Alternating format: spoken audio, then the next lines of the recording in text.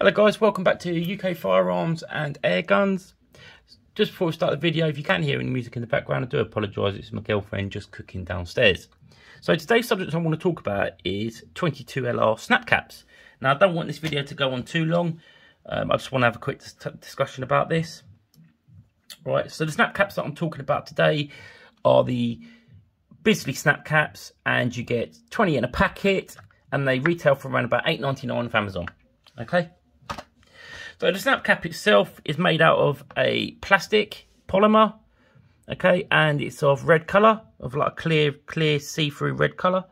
All right, so if we can compare the 22 LR snap cap to an actual 22 LR round, this one being a CCI subsonic hollow point copper washed round, as you can see there, the dimensions are the same. Okay, it's the same size as you would expect it being a 22LR snap cap and that being a 22LR round. Now, what is the purpose for these snap caps? Well, these ones are designed so you can practice your firearm drills and skills and also things like your trigger pull and to also aid in helping you train someone how to use a firearm. Okay, um, if you've got a total a novice like your son or your daughter, maybe your wife, your husband. Okay, snap caps like this are a great way to actually see that they are taking on board what you're telling them on what to do with the rifle, okay? So you can see if they've unloaded the rifle correctly by, you know, is the chamber clear, okay? Do they know how to load a magazine, all right? Um, you know, if you, if they get stoppage, do they have to sort that stoppage out safely? Okay, and we'll come on to that in a bit because these are perishable items. So um, once they start to get a bit used and a bit old, you do start to find that you, you do start to get the odd stoppage with the actual snap cap itself. So in some ways that is a good thing because it allows you to actually teach um, stoppage drills and also for yourself to practice your stoppage drills. Okay, so it becomes second nature. All right, I would just like to say one thing at the moment. Sorry, if you do notice that my hands are a bit dirty, um, it's because I was working on my car today. Um, I've washed my hands about 15 times now. okay, that's a little bit of exaggeration, but you know, if you work on cars, you know what I mean. It is actually quite hard to get the grease out of your hands. All right, but yeah, anyway, so like I said, this is a perishable item. So unfortunately, after a while, the snap cap does start to perish. All right. Uh, it's not too bad though. I mean, you get a good like 30 or 40 hits on the actual snap cap before the snap cap itself starts to perish. Now, if I can actually find it, I will show you one that is actually past it a little bit. All right. Um, if I can find it. There we go. Look. You got one here, right?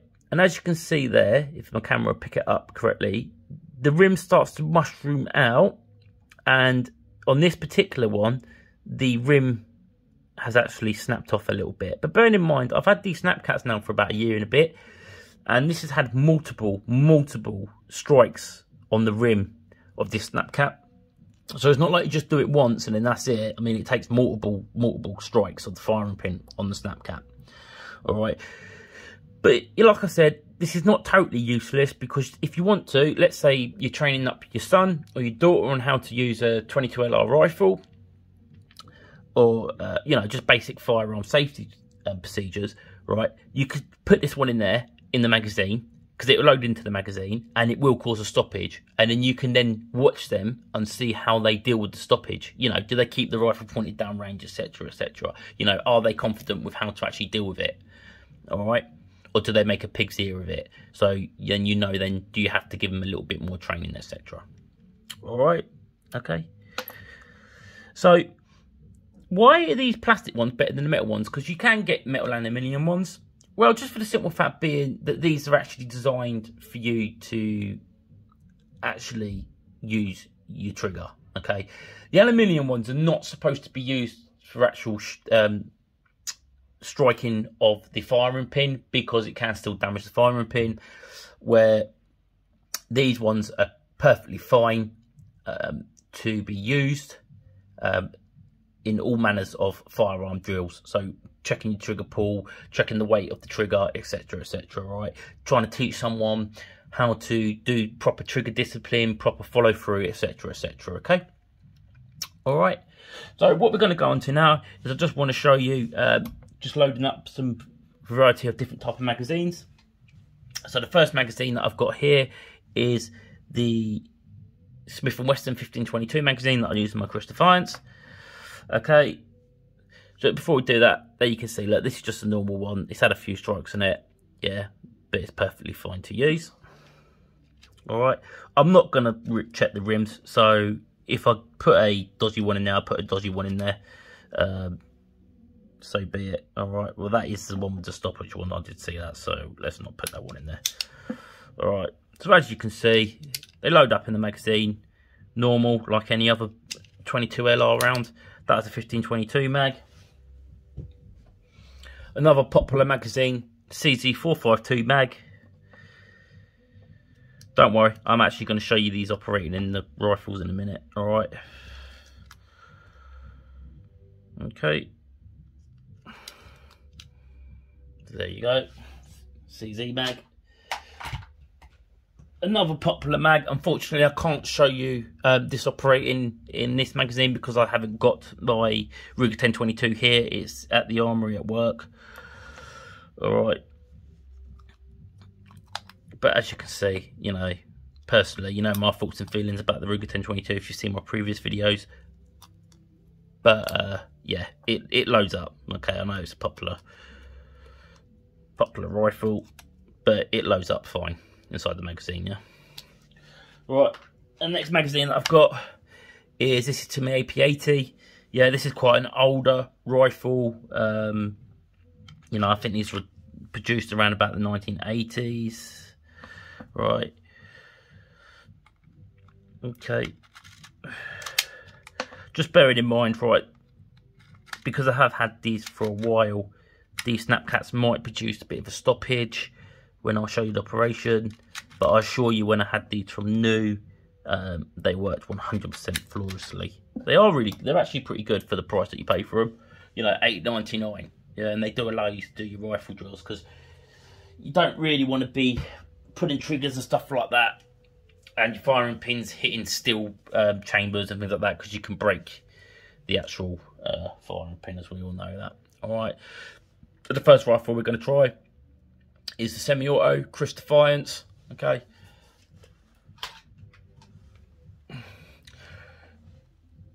So there we go. Look.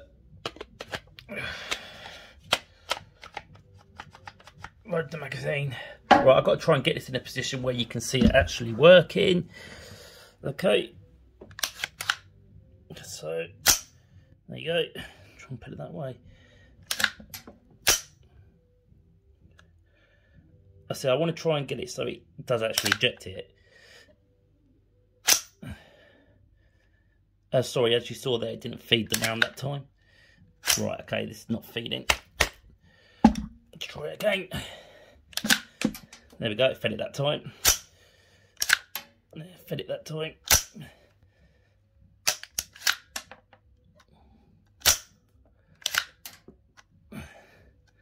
There you go and that's all rounds out of the magazine now empty mag so the bolt's locked back to the rear. So as you can see it does work. Um, unfortunately a couple of times it didn't pick up the rounds but like I said I've had these snap caps now for about a year or so about a year and a half. You do start to get dramas with them after a while because just where the firing pins are hitting the snap caps uh, it's mushing them out the actual rim of the Snap cap. Alright, so got the AP80 now. Alright.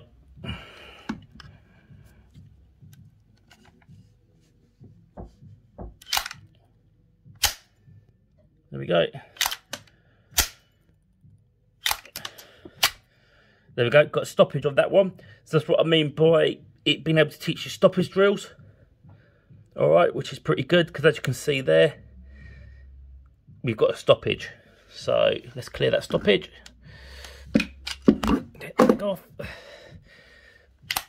There we go. Stoppage clear. Put the magazine back on.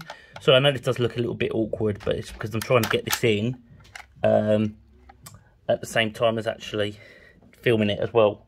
So as you can see, it's loaded. And there we go, got an empty mag. This rifle doesn't lock back, but as you can see, the magazine is actually empty. There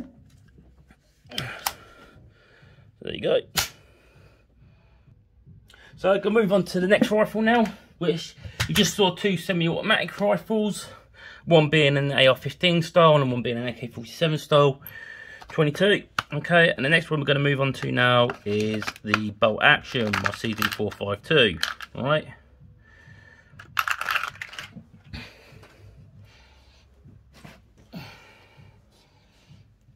Just so you know, I have all safe, safety checked all these rifles before we start. All right, but there we go. Magazine there. Oh, you know what? I might as well actually load up the whole mag in it. Just doing three or four.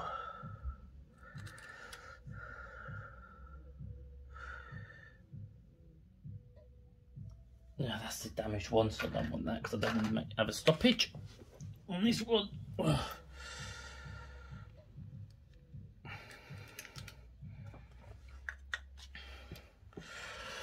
you go, five round mags, they snap caps.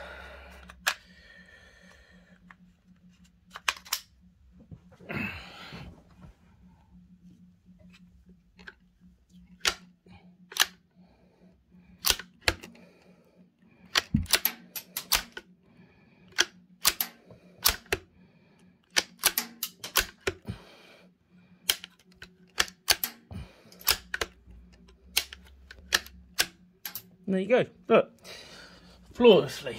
So, you know, to summarise, for eight ninety nine for twenty of them, you can't go wrong.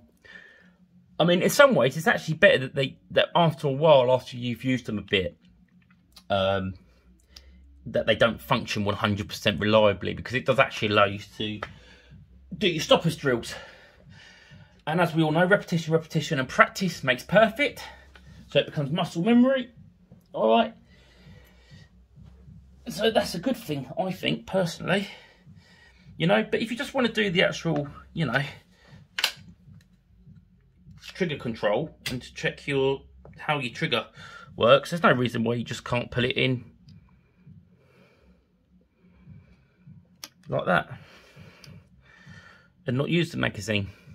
Um, you know, if you if after a while that you know, most of your snap caps actually get actually damaged and ruined. But for eight ninety nine for 20, you know, and they last, you know, a year or two years or so, they're not bad, you know. Depends how much you use them. Do you know what I mean? So, I hope that video was useful. Um, and I look forward to seeing you guys soon. So, goodbye.